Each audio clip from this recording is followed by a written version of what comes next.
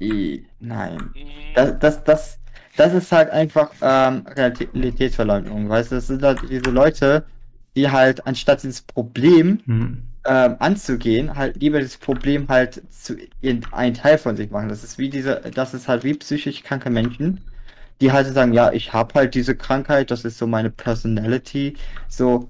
Ich sehe es halt so. Es, es ist scheißegal, wenn du die Gedanken hast, du sollst sie bloß nicht ausleben. Ganz genau. Nur, ich stelle mir sehr oft vor im Straßenverkehr, dass Leute doch jetzt bitte gegen den nächsten Baum fahren. Hm. Ganz Trotzdem genau. versuche ich nicht, sie in diese Richtung zu Ja, drängen. Ja. also, also wenn ich, wenn ich, wenn ich, wenn ich die Visage von, von Es ist Gauland ein sehe, dann, zwischen pädophil und pädosexuell. Ja. ähm, Prof, wenn ich, wenn ich die Visage von, äh, von Gauland sehe, in, äh, im Best of Bundestag und so da habe ich, da habe ich auch Bock, da, sonst was habe ich mir sonst, sonst was für Ge- Gewaltfantasien, aber ich würde doch nie auf die Idee kommen, wenn ich Gauland in echt, in, in, in, Nee, oh Gott. ich würde ihm doch nie Irgendwo- schlagen, das ist, Das äh, ist im Endeffekt ein intrusiver Gedanke, dann wie andere auch, bloß halt in eine sehr beschissene Richtung. Ja. Aber man muss sich halt einfach unter Kontrolle halten, wie man es mit sämtlichen anderen intrusiven Gedanken halt auch macht. Ja, und wenn eine Person was verbockt, dann muss diese Person auch im- dafür. aber ganz im äh, Ernst, das, also bei, ich meine, Ich hatte es da mal bei Follow Me Reports, hatte ich glaube ich mal eine Doku dazu gesehen gehabt. Äh, da war es dann auch im Endeffekt, das ist auch das, was sie dir in diesen äh, Therapien beibringen. Ja. Dass du im Endeffekt lernst, wie du dich selbst und besser unter Kontrolle hast. ja.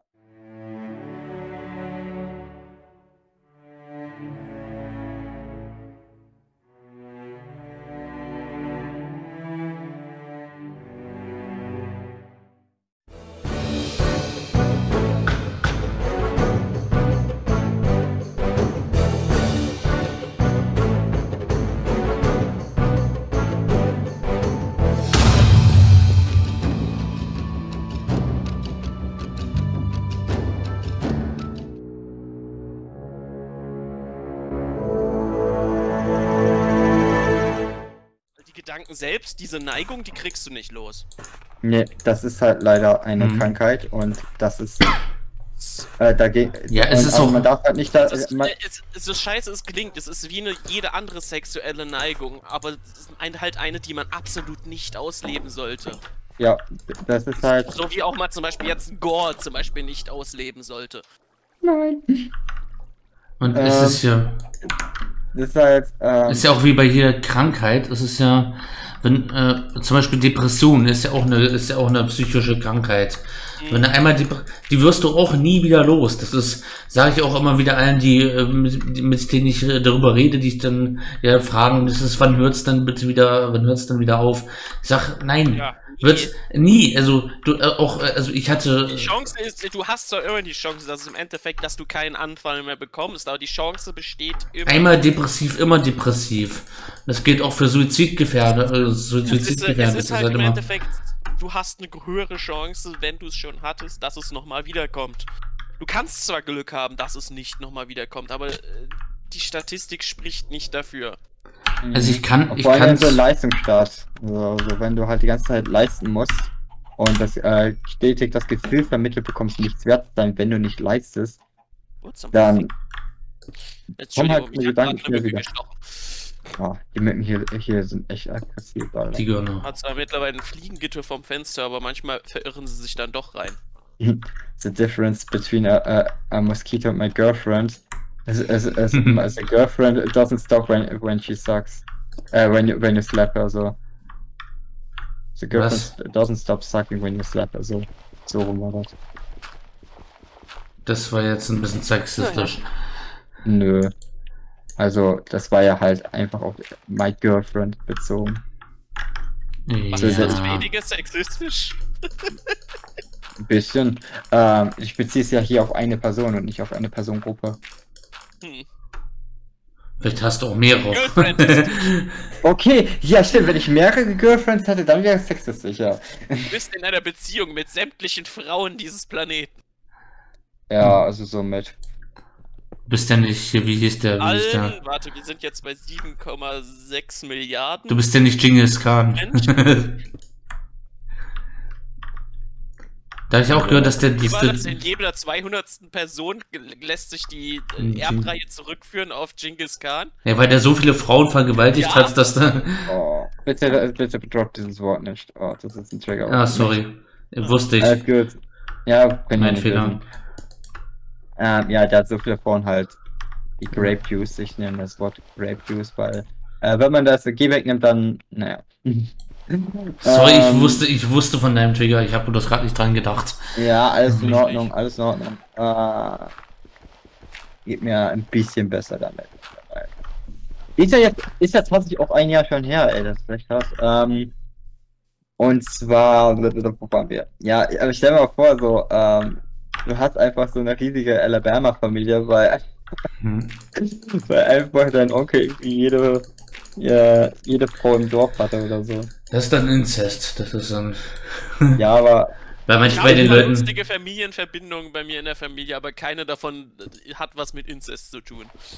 Wenn deine, Also- wenn Wir deine, haben das Konzept Doppelcousins und Doppelcousinen bei uns in der Familie. wenn dein, wenn dein Stammbaum ein Kreis ist. oh mein Gott, Weil auf der, auf der Hochzeit meiner Urgroßeltern haben sich die jeweils die Stimmt. Geschwister der beiden kennengelernt und ein Oh Jahr nein. später auch geheiratet. Dadurch gibt es eine doppelte Verbindung zwischen zwei. Familien. oh Gott. Ist Ja, nicht ich, ich, gut. Es ist, es ist keinerlei Inzest. Also ich hatte, Trotzdem nicht gut. ja, ist nicht also gut. Was ist daran nicht gut? Cousin und Cousine finde ich tatsächlich ist schon nicht- kritisch. Das ist, das ist äh, im Endeffekt.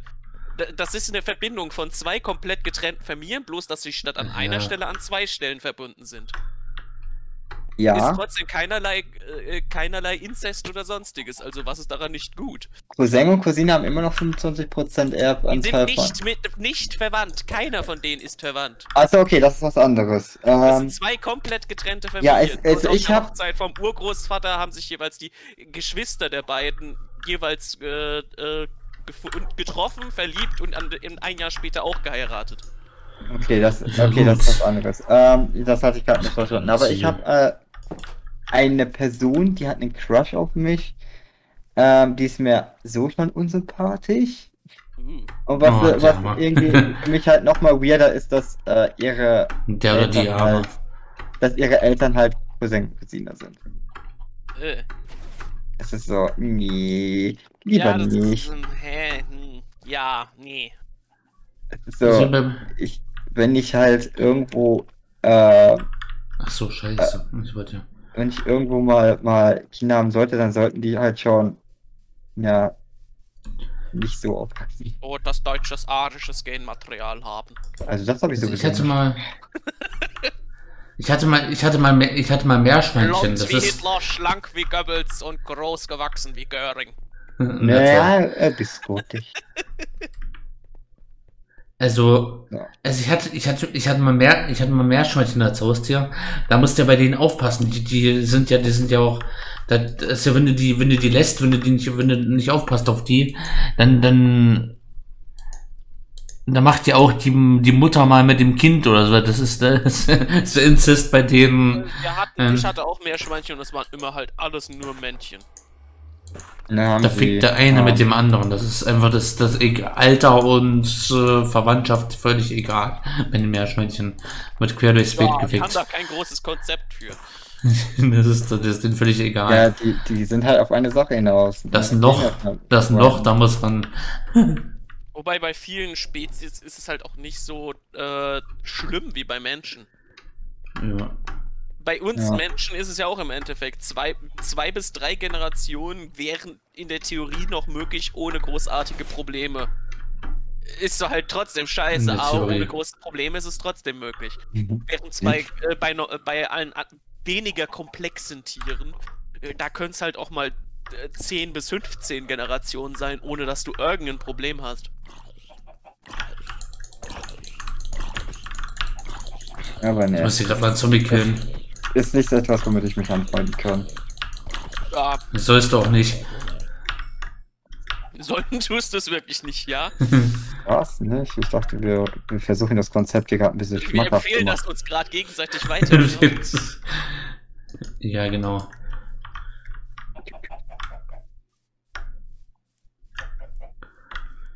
So sieht's So. aus. So sieht's aus. Und wie sieht's aus? Der PG ist auch mal so, wie sieht's aus. So, so. Bin kaputt und habe immer noch Kopfschmerzen davon, dass ich mir, mich von einem Schrank gestoßen habe. Und wie ist es so selbstständig zu sein? Mal gut, mal schlecht. Wenn man keine regelmäßige, äh, wenn man nicht immer äh, gleiches Einkommen hat, dann ist es halt so. Naja, manch, manchmal bangt man dann sehr um seine Existenz. Wie Hm. aktuell. Obwohl nicht, äh, aktuell jetzt nicht mehr, aber jetzt im Monat, in August. Sagen wir es mal so, aktuell wärst du lieber in einem, in einem, in einem Angestelltenverhältnis. Also manchmal ja, das Problem ist, ich tue mich sehr schwer mit Teamarbeit. Und- Momentan, wenn du, momentan, wenn du Geld so, gerade wo du diese Geldsorgen hast, äh, wärst du gerne, hättest du gerne ein gesichertes Einkommen. Ja, also ich hätte gerne einen gewissen Betrag halt monatlich sicher, wo ich weiß, okay, diesen Betrag bekomme ich definitiv. Was hältst du denn von bedingungslosem Grundeinkommen? Ah, wollte ich gerade auch sagen. Finde ich super. Das Äh, würde doch die, das würde doch diese Probleme auch mal wieder lösen. Das ist, äh, Ja, mit BGE würde ich halt noch viel mehr arbeiten. es ist, ich, ich sag's, ich sag's halt, ich sag's halt immer wieder, das bedingungslose Grundeinkommen würde, das würde so viele Probleme lösen. Das ist halt einfach, Ja, Das zumal es auch so viel an Organisation einfach wegfallen würde. Das weil ist halt einfach die Lösung. Hälfte der Sozialgesetzbücher kannst du einfach streichen und durch äh, oh, die ganze schwachsinnige Ha- Berechnungen für Hartz IV, für die du tausende an Leuten brauchst, alle raus. es ist halt auch die Lösung Und für, hast du noch die Einwohnerliste und, äh, Und die Rente. Und, die, und das Geld und dann schickst du an jeden 1000 Euro im Monat. Fertig. und, und Rente, und Rente kannst du auch knicken. Das brauchst du dann auch nicht mehr. Rente ist raus, äh, äh, Hartz IV ist raus, Arbeitslosengeld 1 ist raus, Kindergeld. Kindergeld ist raus. Und Leute, die nicht aufstocken müssen, würden halt dann halt, weil sie eine Beschäftigung brauchen, arbeiten. Nicht weil, oh nein. Ich habe Oh jetzt sonst nein, ich, Geld. äh, ich Ja, werde ex- gleich verrecken, aber ja. Existenzangst, ähm, äh, Existenzangst kratzt sehr Leute würden halt-. Leute würden halt arbeiten gehen, weil sie arbeiten wollen und nicht, weil sie arbeiten müssen. Ja, wenn Ich ich, finde immer die, die, find's immer noch so schön mit der Studie, die sie in Schweden gemacht haben, wo sie die Arbeitszeit einfach reduziert Also das- haben um zwei Stunden. Lass uns mal, dadurch mehr Produktivität erreicht haben. wollen wir mal Ja. einfach, mal- ich, ich, ich würde mal einfach mal fest, äh, feststellen, dass das einzige, der einzige Grund, warum es noch kein bedingungsloses Grundeinkommen die CDU ist. Oh, Ja, das sind halt reiche Säcke, die sich das Geld, ähm, da- Und die da- FDP und die AfD, also rechts. So. Rechts Ja. ist dran schuld. Ich weiß FD, nicht, also FD, Biene, FDP Biene, und Biene. also FDP und, und AfD machen es sind ja auch da. AfD sowieso. Ich weiß, dass ich halt bei der Arbeit sehr oft immer äh, einknicke, weil ich dann so weiß, okay, wenn ich das jetzt nicht schaffe, dann habe ich echt ein Problem. Und wenn ich halt mir darum keine Gedanken machen müsste, so, und da, da Also will ich- ich aber, okay, gut, ich will halt etwas erreichen und dafür brauche ich halt mehr Geld. Also ich die Arbeit. also ich würde, also wenn wenn's arbeite ein, ich halt neben dem Job noch momentan. äh, wenn's ein bedingungsloses Grundeinkommen gäbe, würde ich sofort auf, äh, würde ich halbtags arbeiten. Und den halben Tag, und den halben Tag, da würde ich noch ein bisschen was dazu verdienen, also durch den Halbtagsjob und wird halt Hauptberuf, wird halt, dann wird halt in einem anderen Halbtag, in einem anderen Halbtagsjob meinen YouTube-Scheiß eigentlich mal richtig machen. Also mit BGE würde ich Montag, Dienstag, Donnerstag, Freitag einfach 10 Stunden am Tag arbeiten. Ich würde bis erst so trotzdem weiter Also bei bis Montag 12 Uhr. bis Freitag bleiben. 8 bis 12 Nö, Uhr also- 15. Äh, es ist halt einfach geil für die Produktiv, wenn du halt ähm, Ja, in, in der Woche halt auch noch einen freien Tag hast. Ja gut, das ist so, wir, si- äh, das ist halt, ich arbeite in einem Betrieb, der halt äh, sechs Tage Woche hat im Endeffekt. Ich könnte mich halt endlich mal auf mein, auf, auf, auf das halt hier. 24 Stunden lang ist die Firma währenddessen offen. Das ist, äh, mit kürzeren Schichten bräuchtest du mehr M- Mitarbeiter und die haben wir aktuell überhaupt nicht. Äh, wir sind momentan sechs Techniker in, einem- in einem Dreischichtbetrieb. Krass. Naja. Also diese, das ist eine Diskussion fürs nächste Mal. Weil ich wollte, hab schon gerade gesagt, ich wollte jetzt aufgehen. Ich hab Oh, du willst schon abhauen. Okay, Ja, ich, dann- ich muss. Also es ist heute sehr, sehr hapernd gelaufen. Und weil Zwerge unbedingt wollte, bin ich auf jeden Fall dazugekommen, weil ich wollte ihn nicht sich sitzen lassen. ich bedanke mich dafür. Oh, Ja. War Also- sich mit dir zu unterhalten. Ja, Ja. mein Hotel ist definitiv auch öfter. Oder ihr schaltet mich einfach mal an, dann komme ich auch so in den Vielleicht schaffst du es nächstes Mal wieder. Das ist beim.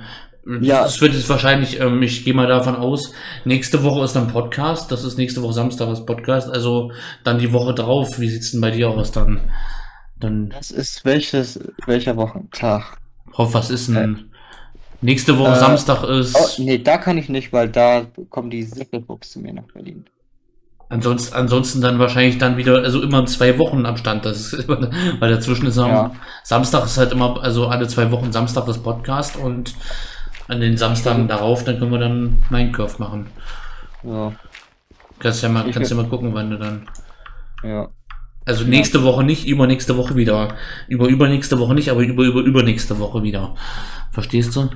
Ja, wir schreiben dann auch diesbezüglich. Ich wünsche euch jetzt noch, schon irgendwie Ja. ich wünsche jetzt euch noch einen weiteren schönen Stream und eine gute Unterhaltung. Ah jo. Und danke. Und hast Haus hast du jetzt dir, dir keinen gebaut, keins gebaut oder irgendwo. Äh, ich habe mir doch schon ein bisschen was gebaut, aber ich war, war noch im Plan, was ich so mache. Aber nicht Zeit für Kirche ab- Nummer ab- zwei. Auf geht's. Kirchenort 2. Nein, ich werde nicht nochmal ein eigenes. Dann müssen wir gucken, dass dann, dass da, dass wir da nicht wieder was drüber bauen. Na dann. Diesmal Ciao, so wie bei. Futurama. Wir äh, einfach oben drauf gebaut. ja. Werden wir sehen. Auf dem Ruin, alten Ruin des alten New York steht dann das neue New York. Irgendwas kriegen wir hin. Irgendwas bauen wir bei Seppi drüber. Und dann. Ich komme ich ja nie zum Bauen, wenn ich jedes Mal neu anfangen muss. Tja. So, na dann. Okay, viel Spaß. Na Tschüss. dann, Cheerio. Ciao. Oh, geht doch hin. Da geht da der Peter. So, was wollte ich denn jetzt hier noch? Ich glaube, Treppen waren es, die ich noch brauche. Gucken wir mal drauf. Dann habe ich ja noch hier einen. Zapp. Sieht mir jetzt relativ fertig aus.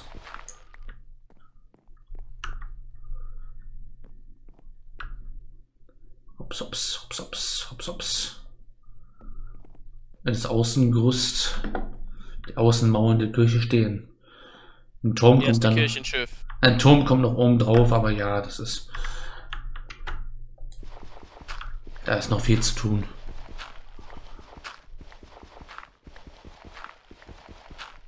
Ich weiß nicht, ob es da ein Schiff gibt bei dieser Kirche. Sieht momentan nicht danach aus. Wenn nicht, muss ich noch selbst Na gut, dran wenn das die ganze Kirche ist, auch gut. Ja, normalerweise müsste da jetzt, also normalerweise sind die Kirchen ja so gebaut, dass hier noch. Prof, komm mal her. Warte, da drüben bist du. Normalerweise sind die in Kreuzform halt aufgebaut, dass halt hier, dass halt hier noch so ein Seitendingens kommt, dass hier noch so ein Raum rankommt, dass halt Seitenschiff links und rechts noch rankommt. Scheiter, wo der Pfarrer scheißen kann. Und dann kommt hier der Altar hin. Eigentlich kommt das hier das, das Ding kommt dann und da drüben der Eingang. Aber so Aber weiß nicht, ob heilige das noch was bitte Die kommt. heilige Vorhaut Jesu. Die kommt, äh, die Katakomben können wir auch noch bauen. Das wird auch noch, werde ich auch noch irgendwas bauen. Die heilige Vorhaut Jesu muss da unbedingt dorthin. Ja, mal schauen. Hast du die Säulen der Erde? Bin ich, ist immer noch mein absolutes, äh, äh, immer noch mein absolutes Lieblingsartefakt.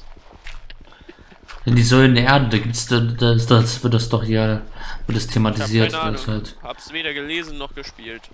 da gibt's die weinende Maria, die dann der jetzt da dann der große durch eine chemische Reaktion fängt dann an zu weinen und alle glauben es als Wunder. Das ist das gibt's ja wirklich, gibt's ja wirklich ein paar Sachen im, in der katholischen Kirche, die halt ja einfach auf die Leichtsinnigkeit der Menschen, ne, einfach darauf. Sagt ihr das, sagt ihr das, das Blutwunder von, ich weiß nicht woher, was? Musst du mal googeln, das Blutwunder. Da gibt's, da gibt's ein, da gibt's so ein angebliches Wunder, wo halt in irgendeiner Stadt, ich glaube in Spanien war das irgendwo, wo es dann verkrustetes Blut gibt, irgendwie, also angeblich Blut. ist es angeblich Blut. Ähm, wo es so verkrustetes Blut gibt, was, äh, was dann so einem Gefäß ist. Und das soll wohl von einem Heiligen sein und das wird dann immer, immer durch eine, während der Proze- Prozession, während der großen Prozession durch das Dorf, durch, durch die Stadt getragen. Und, und wenn, und wenn der Heilige es mit der Stadt gut meint, wenn das Jahr ein gutes wird, dann, dann verflüssigt sich das Blut. Wenn es wenn es ein schlechtes Jahr wird, dann verflüssigt das, sich das Blut nicht, dann bleibt es fest.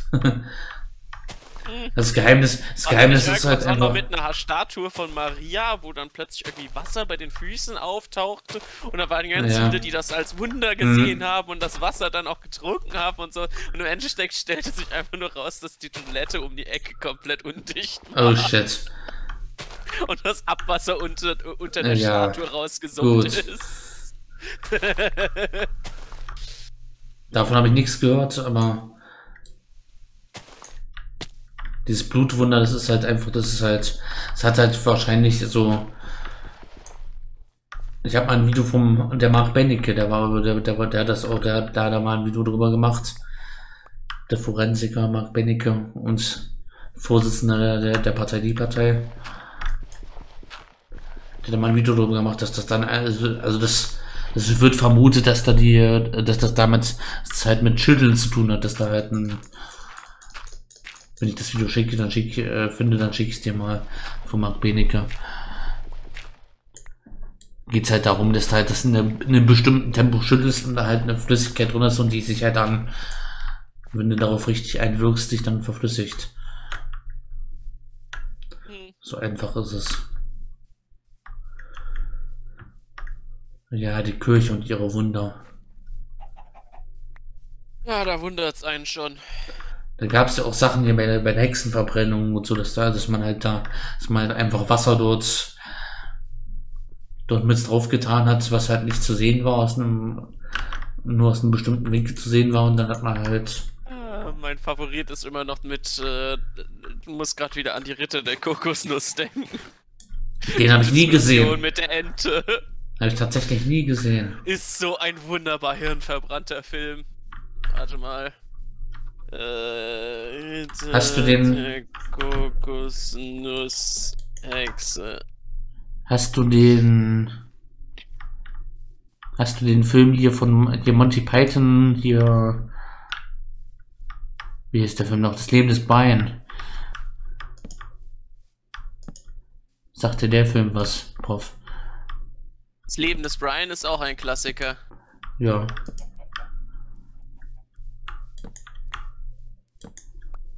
Äh.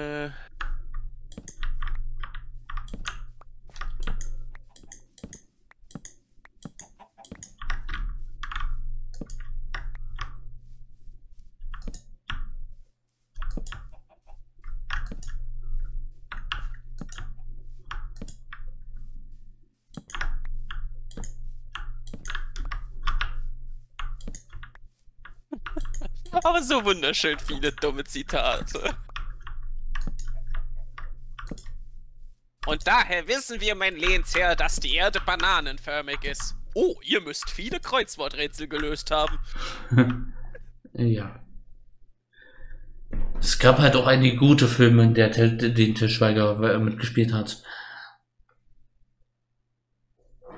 Zum Beispiel hier, hier Traumschiff Surprise, da hat er ja auch mitgespielt, ja. Von Buddy Herbing. Raumschiff Surprise hat aber auch immer noch Stil. Ja. Space Taxi to the sky. Sehr schön. Sekunde, ich muss mal kurz. Bin gleich wieder da.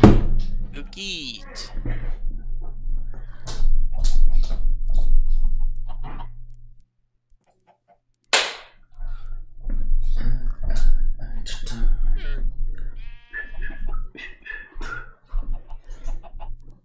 Space Taxi to the sky. Sky. Feuer Salamander. Mach Mach Beine Beine auseinander, aus- mach Beine wieder zu und raus bist du. Äh. Das, das meinte ich, das meinte ich vorhin mit, mit Witze, mit Witze machen. Das ist, ich meine, ich meine, das ist, das ist Humor, der sich, offensichtlich und auch ganz ehrlich über, über Homosexualität lustig macht und auch manchmal böse. Aber es ist halt, verstehst du, Prof? Es, es ist, es ist halt guter Humor. Man merkt halt, dass Humor ist und das ist halt nicht, ist halt kein, es ist halt in keiner, ist halt nicht daneben, es überschreitet halt keine Grenze. Vielleicht schon, aber dann, ich weiß es nicht. Man merkt halt, dass es. Ja, das hier. Was hier? Ah, ja, diese gesamte Diskussion. Es gibt Methoden festzustellen, ob sie eine Hexe ist. Also, was aus Hm. einer Hexe kann denn noch brennen? Noch mehr Hexen! Baum. Halt, Ach so, der halt, Baumstamm von warum der. denkt ihr, dass Hexen brennen? Äh, äh, was sind... Hm, Denkt mal drüber nach. Was kann Holz? Warte, ach nee, wie, ich gehe nochmal kurz weiter unter Reich. What zum Fick ist der Text hier richtig? Ah, ist die Transkriptfunktion von YouTube nur so schlecht. So, wo kommt jetzt das Portal rein? Warte Das mal. Portal. Ach ja, hast du mitbekommen, dass jetzt gerade scheinbar die Musikbots für Discord anfangen zu sterben? Oh nein. Hab ich nichts mitbekommen. Ruby wurde vor kurzem endgültig abgeschaltet. Nie wirklich benutzt, aber. Also kann man davon ausgehen, dass alle, äh, im Endeffekt alle hinter, äh, alle Folgen werden, alle größeren Musikbots. Wegen Artikel 13 oder was? Nö. Äh, wegen Copyright-Verletzung und Richtlinienverletzung von YouTube. Na toll. Weil man das, weil man den Ton, äh, die Tonspur nicht unabhängig vom Bild zeigen darf. Na, schöne Scheiße. Ja, ist ziemlicher Bullshit. Modi? Äh, Prof, sag mir, sag mir mal gerade, wo auf dieser Map ist Norden, äh, äh, wo ist der Osten eigentlich? Ähm. Osten ist. Warte mal. Komm, auf das Tool. Das ist Osten, da wo der Eingang von einer Kirche ist. Und wo ist der Osten? Da wohin ich gerade laufe. Da ist Da wo Osten. ich stehe, da ist Osten. Okay, dann baue ich den Eingang hier hin. Dann muss der Osten, der muss der Eingang hier hin. Weil der Altar muss nach Osten ausgerichtet werden. Alte Regel. Hm. Dann kommt hier der Eingang hin. Und der Altar kommt in den Osten. Haben wir schon mal drüber geredet. Ich glaube, du warst nicht dabei Kann sein. am letzten Stream. Du wolltest die, den Film zitieren, rezitieren. Ich suche gerade noch ein vernünftiges Skript, weil YouTube Transkript nun mal nicht allzu viel taugt. Definitiv nicht.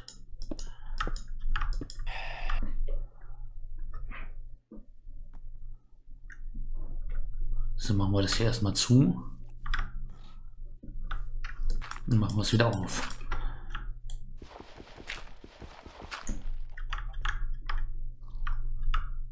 Stein, Stein, Stein, Stein, Stein, Stein.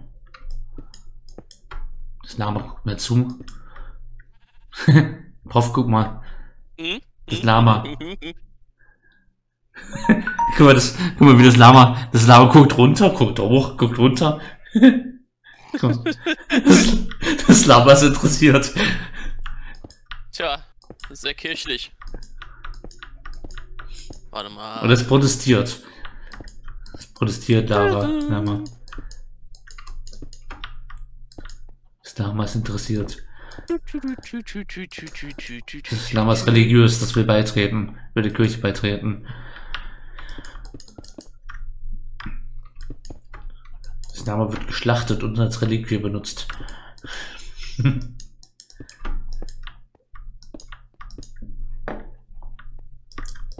Stück Lamafleisch. Trocken die eigentlich Fleisch? Wahrscheinlich, ist- ich liebe diese Zitathalte einfach. Wir haben eine Hexe gefunden, dürfen wir sie ein bisschen anzünden? Es ist so ein Klassiker.